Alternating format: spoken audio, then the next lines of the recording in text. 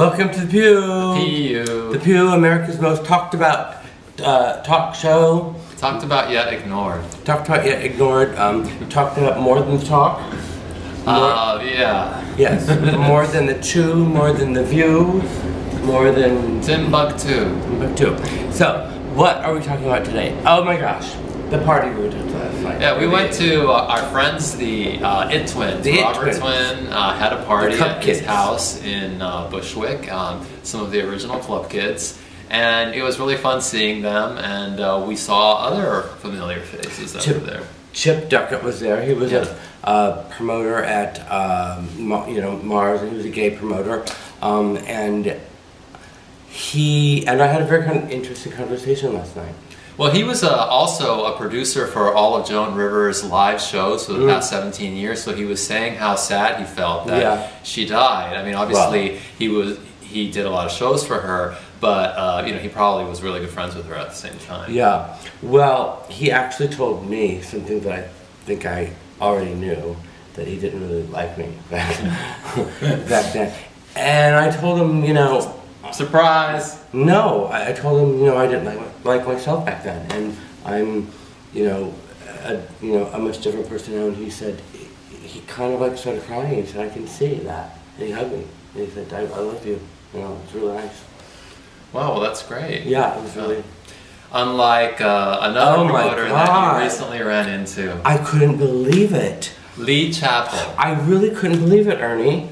Lee Chappell is a longtime New York City promoter who well, w- well, okay. got his start with Yeah, with me. Um, at one point, uh, one of the club owners that I was at, the Frank Rocky with World, said, uh, you know, Marco, we need five new promoters. So I went out and I found, looked for five popular, honest, you know, funny, charismatic people. Ernie, you were one of them.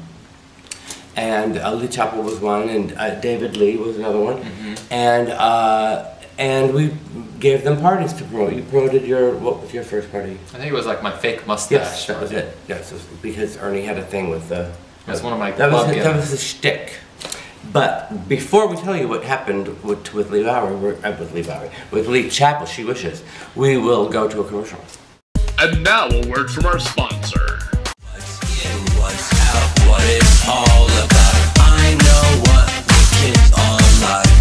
Welcome back to the Pee-ew.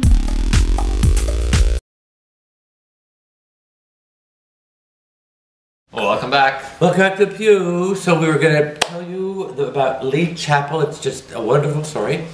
Um, I was at the uh, Club Space. Space Ibiza. Yes, it's the new super club. Is it Space Ibiza or Ibiza Space? It's a Ibiza Space, and it's the new super club in New York City, and which is kind of- Super. yeah, super.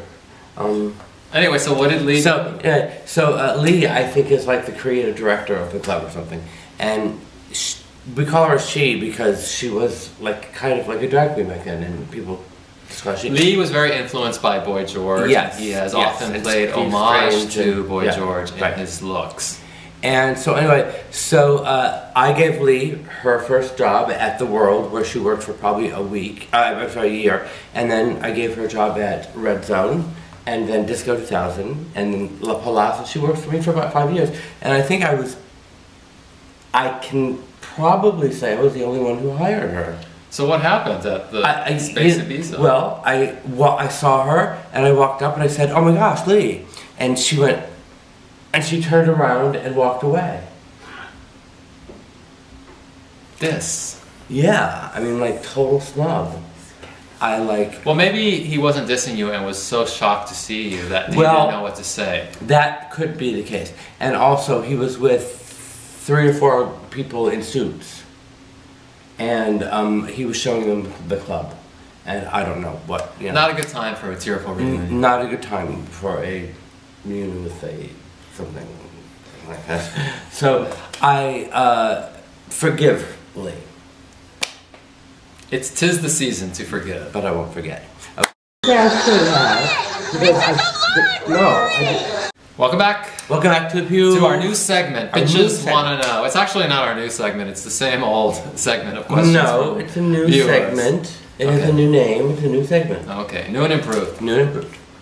So, what's the first question? I'm question? copying your thing again. Okay, the first question is. Uh, oh my gosh! The, the writing is so small, I yeah, I know. it. It's from someone called Drink All the Sunshine. And um, they say, Can you please make a video on your detox experience getting off heroin? Can we please make a video on that? Nobody wants to see a Oh, video, yeah. painful, I mean, no, agonizing you video. know, you know what? Watch Christian F. Oh, yeah, you'll know. We have it on DVD. or Requiem for a Dream. It did Well, made, like, no, a no, no, no, no! Don't watch Requiem for a Dream. You remember you hated that movie. You, I did hate it. You said how horrible it was. Why would you just tell them to watch it? Because somebody wants to know about detox, and I mean, Christian F. isn't, isn't detox and awful? it's Christian, I think with an E at that. Right. Christian, and it's German, and you should watch it. Next okay. question. Okay, next one. Uh, this is from uh, F. Uh, F M L L A S I. What the f- hell is that? I don't know. Uh, so, uh, wow, Michael, it's almost scary how well you do your makeup. Oh well. Challenge: Do you have any neon like makeup laying around? Well, isn't that an interesting question? Because Because you didn't do your makeup the last time you were wearing that's it. not You- why I was going to say it was interesting. Okay. Because when I was in my storage unit, I found a whole box of neon makeup. I don't think you should use it. Yeah, probably not. I mean, It's it, probably- it goes bad. Yeah, but anyway, it's just interesting. Okay, the next question. Joshua Colors. Have either of you been to some of the recent gay pride parades earlier this year or in years past? Yes, I went to the San Francisco Gay Pride Parade in July, and it was really fun. I thought it was actually better than New York City's because it was bigger. There were more outdoor free events, and uh, there were more different types of music than in New York. Well, the only times we were went to the pride parade were when we were on floats for the clubs we were. you know. I went to it every year in New York City. I've always gone to it since like the early '80s. Yeah, I mean, late early early, early nineties because um, our clubs always had floats, you know, and we float. So, float on. so float on. See you next See you next time. time at the Pee-ew.